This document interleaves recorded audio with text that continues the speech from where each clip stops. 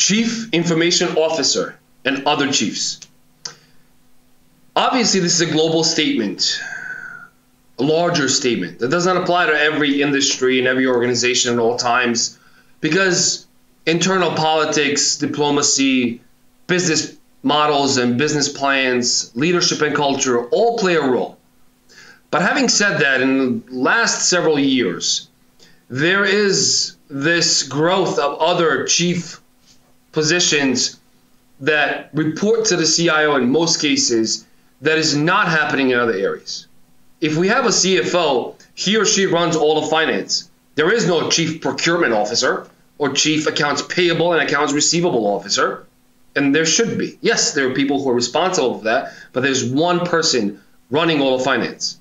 If you look at marketing, there's chief marketing officer.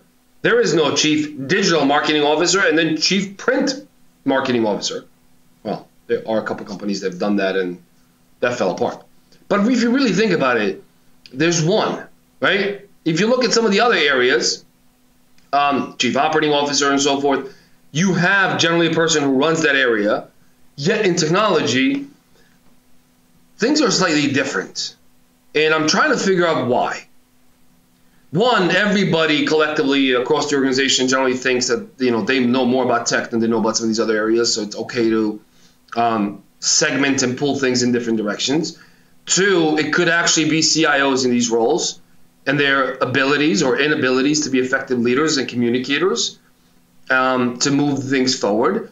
And three, it could really be organizational structure, funding, and support.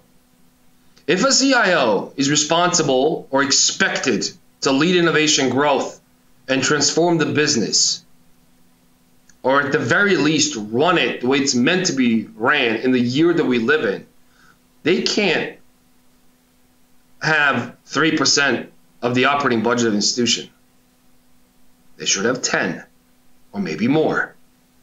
And within that 3%, 90% of it should not be gone in the first month because it's accounted for annual contracts, maintenances, and other agreements. There's a lot of things to unpack.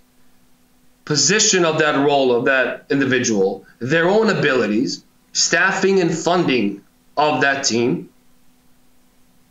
And then you start looking into the growth of some of these other roles.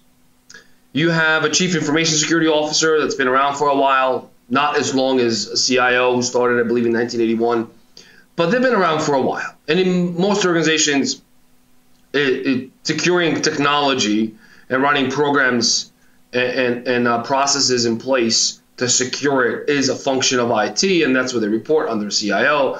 In some other more mature organizations, you have full governance, risk, and compliance under the C, uh, Chief Information Security Officer, so then they're more of a peer to CIO.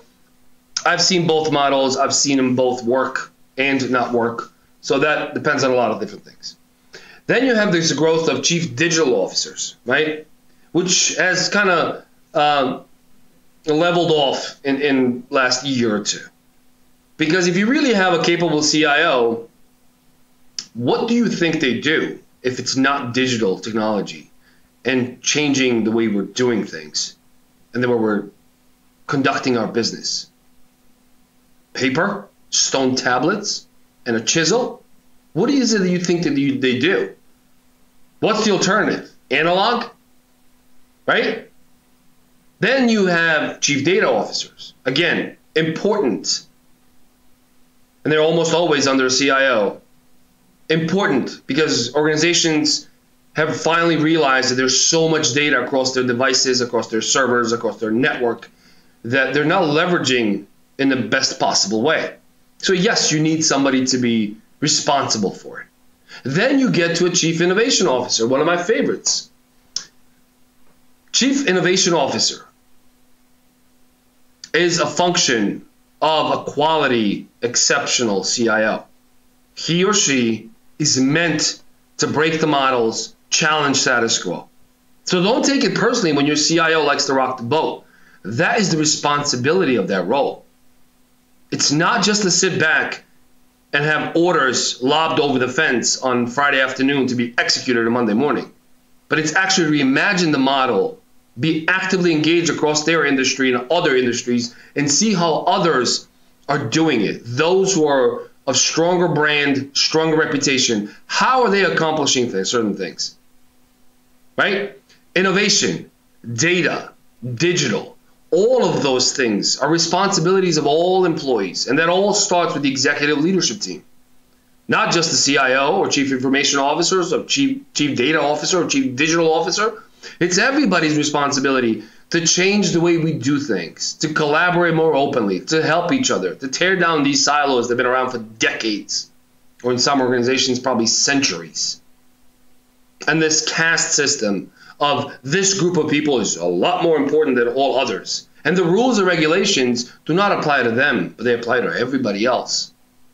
All of that is changing and it has to change. And those organizations that are willing to make those changes and adapt more quickly are those who will be a lot more successful in years to come and have a greater probability of remaining on the scene and being relevant than those who still either don't see that or see it but refuse to act.